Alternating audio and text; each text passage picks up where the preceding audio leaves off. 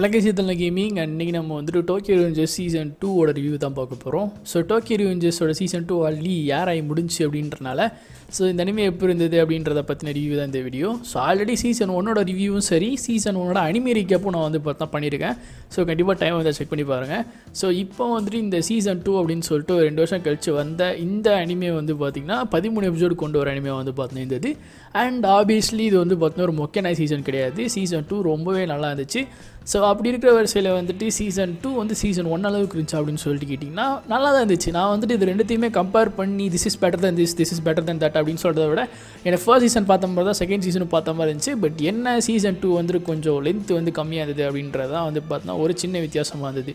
So இந்த Tokyo Revengers season டூவோட plot எது நோக்கி போகுது அப்படின்னா வழக்கம் போல் டைம் லீப்பிங் கான்செப்டை வச்சு நம்ம டாக்கி வச்சு முடிஞ்ச அளவுக்கு ஹினாட்டா வந்து பார்த்திங்கன்னா ஃப்யூச்சரில் வந்துட்டு சாகக்கூடாது அப்படின்னு சொல்லிட்டு நினைக்கிறாரு.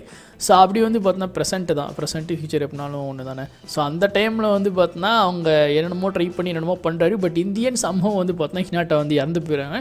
அண்ட் அதில் வந்து பார்த்தோன்னா அந்த வில்லங்கம் பிடிச்ச டோக்கியோ மேஜிக் அங்கேயுமே வந்து பார்த்தோன்னா ஒரு காரணமாக இருக்கிற மாதிரியும் இல்லை அதில் எவனா ஒருத்தர் வந்து பார்த்தோன்னா சம்பந்தப்படுற மாதிரியே வந்து பார்த்தோன்னா இருக்குது. இதை சரி பண்ணுவார் அண்ட் அதுக்கப்புறம் வந்து பார்த்தோன்னா எப்படியாச்சும் ஏதாவது ஒரு தப்பு நடந்துடும் ஹினாட்டாக்கு இதை முடிஞ்ச அளவுக்கு பண்ணுற மாதிரி தான் சீசன் ஒன்லேயே கொண்டு போயிருப்பாங்க. இதுவே திருப்பி திருப்பி ரொட்டீன் ஆகிட்டே இருக்கும். இந்த மாநாடு படத்தில் நடக்கிற மாதிரி.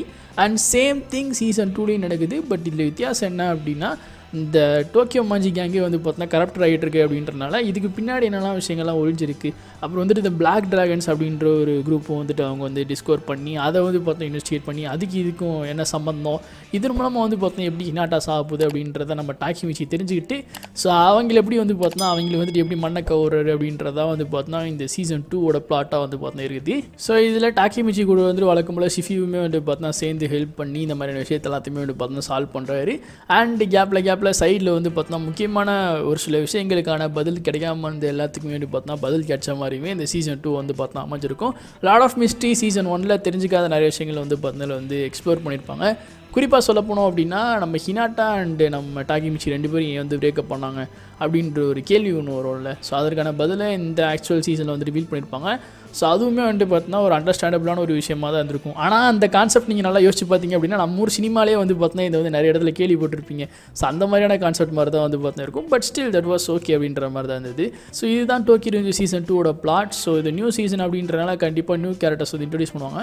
அந்த வரிசையில் பிளாக் ட்ராகன் உள்ள கேரக்டர்ஸ் வந்து காமிக்கிற மாதிரி காமிச்சு அதுக்கப்புறம் வந்து பார்த்தா அந்த ஹக்காய் ஷிபான்னு சொல்லிட்டு அந்த டேஜியோட தம்பி அதுக்கப்புறம் அவங்களோட சிஸ்டர்னு ஒருத்தவங்க இருப்பாங்க. இந்த மாதிரி நியூ கேரக்டர்ஸ்லாம் வந்து பார்த்தீங்கன்னா ஆரம்பத்திலே ஃபர்ஸ்ட் ஃபியூ எபிசோட்ஸில் வந்து இன்ட்ரடக்ஷன் கொடுக்குறது ரொம்பவே ஃப்ரெஷ்ஷாக இருந்தது.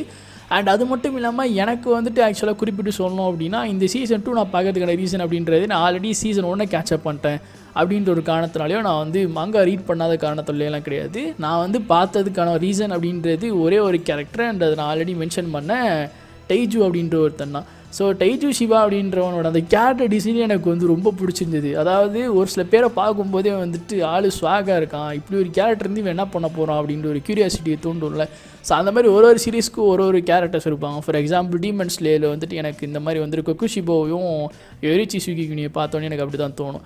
அதே மாதிரி தான் வந்துட்டு நிறைய சீரீஸில் நிறைய பேர் இருப்பாங்க. நிறைய அனிமே சீரீஸில் அதே மாதிரி நான் டோக்கியோ ரெஞ்சூஸ்னு பார்க்கும்போது இதில் என்ன சின்ன பசங்களாக தான் இருக்க போகிறாங்க மைக்கி ட்ராகன் தான் சொல்லிட்டு சுற்றுவானுங்க அப்படின்னு பார்த்தா போஸ்ட்டில் வந்துட்டு டெய்ஜு ஷிவா பார்த்தோன்னே யாரா இவன்? ஆளே வித்தியாசமாக இருக்கான் இந்த புளிங்க குரூப்லேயே ஆக்சுவலாக இவன் தான்ப்பா பார்க்கறதுக்கே ரொம்ப வெயிட் கை மாதிரி இருக்கான். ஸோ இவன் என்ன பண்ண போகிறான் அப்படின்ட்டு தெரிஞ்சுக்கிறதுக்காண்டி இந்த சீசன் பார்க்கணும் அப்படின்றதுக்காண்டி தான் நான் பார்க்க ஆரம்பித்தேன் அண்ட் இந்த கேரக்டரோட ரோல் அப்படின்னு சொல்லிட்டு வரப்போ அது வந்துட்டு ஒரு ஷார்ட் அண்ட் சிம்பிளாக இருந்த மாதிரி இருந்தது. லைக் ஒரு ஒரு கெட்டவன் எப்படி ப்ரொஜெக்ட் பண்ணுமோ அந்த மாதிரி வந்துட்டு பெயினாக காமிச்ச மாதிரி இருந்தது. பட் இந்த கேரக்டர்லேருந்து நான் நிறைய வந்து எதிர்பார்த்தேன். அண்ட் லேட்டரான வந்து பார்த்தோம் ஒரு சேஞ்சஸ் கொண்டு போகிற மாதிரி காமிச்சாங்க. தெரியல மேபி சூனர் வந்துட்டு இந்த கேரக்டரை எடுத்து காமிப்பாங்களா அப்படின்றது because I'm not manga reader but still எனக்கு வந்து பார்த்தா நான் சீசன் டூ பார்க்கறது முக்கியமான காரணமாக இதுதான் வந்து பார்த்தா இருந்தது. ஸோ நெக்ஸ்ட் நம்ம கேரக்டர்ஸை பற்றி பேசும்போது வந்துட்டு வழக்கம்போல டாக்கி மேட்ச் வந்து பார்த்தோன்னா இதுலேயுமே வந்துட்டு நல்ல கரேஜஸோட என்னதான் அவன் வந்துட்டு ஒரு வீக்லிங் மாதிரியான ஒரு ஆளாக இருந்தாலுமே அவனால் முடிஞ்சது செய்கிற மாதிரியான ஒரு கேரக்டர் தான் அதில் வந்து பார்த்தா காமிச்சிருந்தாங்க. எஸ்பெஷலி அவர் வந்து பார்த்தீங்கன்னா டைஜி கூட சண்டை போகிற சீனாக இருக்கட்டும் அதுக்கப்புறம் அந்த ஹினாட்டா பிரேக்கப் சீன் அது எல்லாமே வந்துட்டு பார்த்தா டாப் நாச்சாக இருந்தது. உண்மையாகவே வந்து பார்த்தா கேரக்டர் டெவலப்மெண்ட் அப்படின்னு சொல்லிட்டு வரப்போ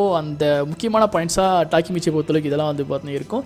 இதை தவிர்த்து டோக்கியோ ரேஞ்சர்ஸ்னாலே நமக்கு ஞாபகம் வர ஃபியூ கேரக்டர்ஸ்னு பார்த்தோம்னா மைக்கி அண்ட் நம்ம ட்ராகன் இந்த ரெண்டு கேரக்டர்ஸ் வந்து பார்த்தோன்னா லைக் எல்லாத்துக்குமே ஃபேவரபுளான ஒரு கேரக்டர்ஸாக இருப்பாங்க. டோக்கியோ ரேஞ்சர்ஸ்னாலே மைக்கி குன் அப்படின்னு சொல்லிட்டு சுற்றுற கும்பலாம் நிறைய இருக்குல்ல. ஸோ அவங்களுக்கான ஒரு ஃபேன் சர்வீஸ் சீசனாக இது இருக்காது அப்படின்னு சொல்லிட்டு நான் வந்து நினைக்கிறேன். ஏன்னா சீசன் டூவில் வந்துட்டு இந்த மைக்கி அண்ட் ட்ராகனோட ஒரு இன்வால்மெண்ட் கொஞ்சம் கம்மியாக இருந்த மாதிரி உங்களுக்கு வந்துட்டு தோணலாம். மைக்கி கூட ஏதோ காமிச்சாங்கன்னு வச்சுக்கோங்களேன் ட்ராகன்லாம் சுத்தம் அப்படின்ற மாதிரி தோணுச்சு. மிச்சியோட ஃப்ளாஷ்பேக்கில் மட்டும்தான் வந்து பார்த்தா ட்ராகனை வந்துட்டு காமிச்சிருந்தாங்க. ஸோ அதனால் சீசன் ஒன்றில் இருபத்தி நாலு எபிசோட் இருக்குது அப்படின்றனால அவங்க ரெண்டு பேர்த்து நீங்கள் ஒரு ஃபுல் ஃப்ளெஜ்டாக பார்க்குற மாதிரியான உங்களுக்கு ஒரு ஃபீல் வரலாம். பட் சீசன் டூன்னு வரப்போ மொமெண்ட்ஸ்லாம் இருந்தது. மைக்கி குணை வச்சு மொமெண்ட்டில் இருந்தது ட்ராகனை வச்சு நல்ல மோமெண்ட்டில் இருந்தது. பட் ஆனால் உங்களுக்கு அந்த இன்னும் இந்த கேரக்டர் ஃபுல் ஃப்ளேஜாக காமிச்சிருக்கலாமே அப்படின்ற மாதிரி உங்களுக்கு ஒரு சின்ன ஒரு விஷயம் வந்து பார்த்தா தோணலாம். பட் எனிவே சீசன் ஒன்றில் எப்படி நடக்குமோ அதே மாதிரி தான் வந்து பார்த்தா வைக்கின்றாங்க அவங்களோட வேலையை வந்து பார்த்தா இந்தியனில் பார்த்து விட்ற மாதிரி வந்துட்டு காமிச்சிருப்பாங்க. ஸோ அது என்ன அப்படின்றது நீங்கள் அனிமே பார்த்தும்போது உங்களுக்கு தெரிஞ்சிருக்கும். எஸ்பெஷலி அந்த இந்த ஆர்க்கோட கிளைமேக்ஸில் நான் வந்து பார்த்தா சொல்கிறேன் அந்த ஒரு ஃபைட் முடியும் போது எப்போவுமே அந்த கோகு சேவ்ஸ் தடே அந்த ஹீரோ சேவ்ஸ் தடே அப்படின்ற மாதிரி ஒரு விஷயம் வந்து பண்ணுவாங்களே. ஸோ அந்த விஷயத்தை தான் நான் வந்து பார்த்தா ரெஃபர் பண்ணுறேன் அப்புறம் வந்துட்டு முக்கியமாக ஃப்யூச்சரில் உள்ள அதாவது ப்ரெசென்ட்லன்னு சொல்லுமா ஃப்யூச்சர்னு சொல்லுமா நான் சரியா தெரியலையே. அந்த டைம் லைன் கரண்ட் டைம்லைனில் உள்ள மைக்கி குணை வந்து பார்த்தா ஆக்சுவலாக டாக்கி வச்சு மீட் பண்ணும்போது அவன் ஏன் இப்படி சேஞ்ச் ஆகியிருக்கான் அப்படின்ற ஒரு அந்த கேரக்டரே வந்து பார்த்தா புரிஞ்சுக்க முடியாத மாதிரியான ஒரு கேரக்டர் இருந்தது. ஸோ அதற்கான பதில் வந்து கூடிய சீக்கிரம் வந்து ரிவீல் பண்ணுவாங்க அப்படின்னு சொல்லிட்டு நினைக்கிறேன். பட் ஆனால் இந்த கேரக்டரை கொஞ்சம் ரைட் பண்ண விதமே ஒரு திணிசாக இருக்குது அப்படின்ற மாதிரி தான் அந்த கேரக்டர் பார்க்கும்போது தோணுச்சு. பட் என்னை பொறுத்தளவுக்கு இந்த சீசனில் இந்த கேரக்டர் கரெக்டாக அவர் வந்தது கரெக்டாக இருந்தது போனது கரெக்டாக இருந்தது அவரோட பெர்ஃபார்மன்ஸ் அப்படின்றது ஓவரால் அந்த கேரக்டருக்கு ஏற்றாப்புல அவரோட ரோலை கரெக்டாக பண்ணியிருக்காரு. அப்படின்னு நான் யாரை சொல்லணும்னா சிஃபியூ தான் சொல்லுவேன். அந்த கேரக்டர் எனக்கு வந்து டோக்கியோ சீசன் ஒன்லேருந்து சீசன் டூ எனக்கு ரொம்ப பிடிக்க ஆரம்பிச்சிச்சு. ஏன்னா அந்த கேரக்டர் வந்து இந்த ஆக்சுவல் ஆர்க்கோட இன்வால்மெண்ட் அப்படின்றது ரொம்ப நல்லா இருந்தது. அண்ட் டாகி மிச்சிக்கு இருக்கிற ஒன் அண்ட் ஒன்லி அக்கம்பனியர் அப்படின்றது அவர் மட்டும்தான் அப்படின்றனால அதுக்கேற்ற மாதிரியான அந்த கேரக்டரோட ரேட்டிங் எனக்கு ரொம்ப பிடிச்சிருந்தது. ஸோ நான் வந்து பார்த்தா இந்த ஷோவில் வந்துட்டு மைக்கி குன்னோ ட்ராகன் குன்னோ டாக்கிமிச்சியோ அவங்களாம் கிடையாது. நமக்கு டேரக்டாக சிஃபியூ தான் எனக்கு ரொம்ப பிடிச்சிச்சு அப்படின்ற மாதிரியான ஒரு கேரக்டர் எனக்கு வந்து பார்த்தா அவர் வந்துட்டு இருந்தார். மற்றபடி அனிமேல வந்து பார்த்தா ஆண்டகிரிக்ஸ்னு சொல்லிட்டு ஒரு சில பேர்லாம் இருப்பாங்களே. ஸோ அவங்களோட சேஞ்சஸ் அண்ட் அவங்கள எப்படி இருப்பாங்க அப்படின்றத வந்துட்டு அந்த கிறிஸ்மஸ் ஷோட அந்த டைமில் வந்து பார்த்தா ரிவீல் பண்ணியிருப்பாங்க. அண்ட் அது வழக்கம் போல் யூஸ்வலான ஒரு விஷயமா தான் இருந்தது. மற்றபடி இந்த சீசன் டூவோட ப்ளஸ்ன்னு சொல்லிட்டு வரப்போ ஒரு ஒரு எபிசோடுமே வந்துட்டு பார்த்தோன்னா ஒரு கிளிஃப் ஹேங்கர் ஃபீலிங் கொடுத்துச்சு. ஒரு ஒரு எபிசோட் முடிக்கும் போது இதுக்கப்புறம் என்ன நடக்கும் அப்படின்ற ஒரு ஆர்வத்தை தூண்டுற மாதிரி இருந்தது. மங்கா ரீட் பண்ணுறவங்களா இருந்தீங்களா? உங்கள் எல்லாத்துக்குமே ஈஸிலி ப்ரிடிக்டபிளாக இருக்கும் பிகாஸ் நீங்கள் எல்லாமே ஆல்ரெடி மங்கா ரீட் பண்ணியிருப்பீங்க மங்காவுமே அஃபிஷியலாக முடிஞ்சிச்சு.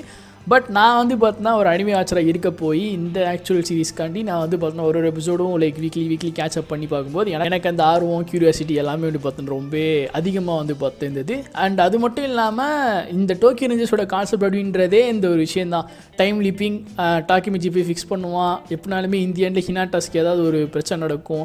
அதுக்கப்புறம் திரும்பி போவான். இதே தான் வந்து பார்த்தீங்கன்னா அடிக்கடி நடக்கிற மாதிரி இருக்கும். இதுவே சம்டைம்ஸ் நிறைய பேருக்கு வந்து பார்த்தீங்கன்னா கடுப்பேற்றுற மாதிரி இருக்கும். ஒரு சில அனிமேஸில் வந்து பார்த்தீங்கன்னா ஒரே லைன் எடுத்துக்கிட்டே தான் வந்து பார்த்தோம் ஒம்பது ஆறு ஓட்டுற மாதிரி இருக்கும். அதில் டோக்கி ரேஞ்சஸுமே வந்துட்டு பார்த்தீங்கன்னா அந்த டைம் ட்ராவல் டைம் லீப்பிங் ஏதோ ஒரு பேஸை வச்சுட்டு பண்ணுற மாதிரி இருக்கும். பட் ஆனால் அதையுமே கொஞ்சம் சுவாரஸ்யமாக கொண்டு போய் கொடுக்குறது தான் வந்து பார்த்தோம் டோக்கி ரேஞ்சர்ஸோட ப்ளஸ்ஸாக இருக்கிறப்போ நான் இந்த அனிமையோட அனதர் ப்ளஸ்ஸை கன்சிடர் பண்ணுறது இதுதான். டோக்கி ரேஞ்சர் சீசன் டூவில் இந்த மாதிரி ஏதாவது மக்கர் பண்ணிடுவாங்கன்னு நினச்சேன். பட் ஆனால் அதுக்கேற்ற மாதிரியான ஒரு சில பிளாட் ட்விஸ்ட்டு இதில் இப்படி நடந்துடும் அப்படி நடந்துடும் அப்படின்னு சொல்லிட்டு ஒரு சின்ன ஷேக்லாம் விட்டதெல்லாம் வந்துட்டு நல்லா இருந்தது.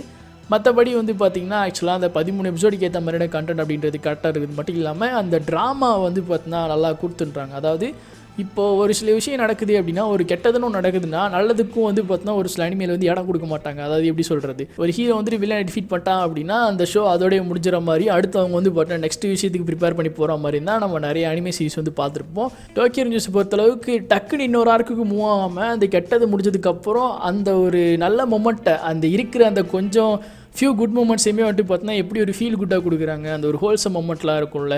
ஸோ அந்த வெளியே வந்துட்டு அவுட்டிங் போகிற மாதிரி அது இதுன்னு சொல்லிட்டு அதெல்லாமே வந்துட்டு பார்த்தீங்கன்னா ஒரு நல்ல ஒரு அனி- இந்த அனிமேக்கு வந்துட்டு ஒரு சின்ன சின்ன லிட்டில் டச்சாக வந்து பார்த்தீங்கன்னா ஒரு ப்ளஸ்ஸாக வந்து பார்த்தீங்கன்னா இதை தான் நான் வந்து கன்சிடர் பண்ணுறேன் இந்த மாதிரி வந்துட்டு லைக் ஒரு சின்ன சின்ன விஷயங்கள்லாம் நடக்கிறது அப்படின்றது ஷோனோட ரொம்பவே ரேரு இப்படி எதாவது நடக்கும்னா நீங்கள் வந்து ஸ்லைஸ் ஆஃப் லைஃப்லாம் பார்க்க முடியும். ஸோ அதனால் வந்து பார்த்தீங்கன்னா இந்த அனிமையோட அடிஷ்னல் ப்ளஸ்ஸாக நான் கருதுறது அப்படின்றது இதுதான். மற்றபடி அனிமேஷன் அதுக்கப்புறம் டெக்னிக்கலாக வந்து பார்த்தீங்கன்னா ரொம்ப நல்லா தான் டீசெண்டாக தான் வந்து பார்த்தீங்கன்னா கொடுத்துருந்தாங்க. நெகட்டிவ்ஸ்னு சொல்லிட்டு வரப்போ எனக்கு வந்துட்டு பெருசாக எதுவுமே தோணலை. பட் ஆனால் உங்களுக்கு எதாவது தோணுச்சுன்னா கீழே வந்து கமெண்ட் பண்ணுங்கள் ஏன்னா நான் வந்துட்டு லைக் ஆன்விங் எபிசோடே கேட்சப் பண்ணுற மாதிரி நான் படி கேட்சப் பண்ணிட்டே இருந்தேன். பசங்க தான் வந்து பார்த்தா சொல்லுவாங்க ப்ரோ எண்டிங் சரியில்லை ப்ரோ மங்காக்கு அப்படின்னு சொல்லிட்டு. டேய் சீசன் டூ தாண்டா வந்திருக்கு ஒழுங்கா எனக்கு பார்க்க விடுங்கடா அப்படின்னு சொல்லிட்டு தான் நான் வந்து பார்த்தா பார்த்துட்டு இருந்தேன். ஸோ இப்படி தான் வந்து பார்த்தா போயிட்டு இருந்தது. ஸோ இந்த அனிமேக்கு வந்து நீங்கள் எவ்வளோ ரேட்டிங் கொடுப்பீங்க அவுட் ஆஃப் ஃபைவ் அப்படின்றது கீழே வந்து கான் பண்ணுறது மட்டும் இல்லாமல் உங்களோட கருத்துக்களையும் அதாவது இந்த அனிமே பற்றி எல்லாத்தையுமே ப்ளா ப்ளா எல்லாத்தையும் வந்து பார்த்தீங்கன்னா கமெண்ட் டாப் பண்ணுங்கள் இந்த வீடியோ பிடிச்சா லைக் பண்ணுங்கள் வேறு எதனா வீடியோ சொன்னால் நீங்கள் வந்து பார்த்தீங்கன்னா கமெண்ட் பண்ணிட்டு நம்ம சேனல் சப்ஸ்கிரைப் பண்ணுங்கள் நான் உங்களை இடத்துல சந்திட்டு வரைக்கும் take care and thanks for வாட்சிங்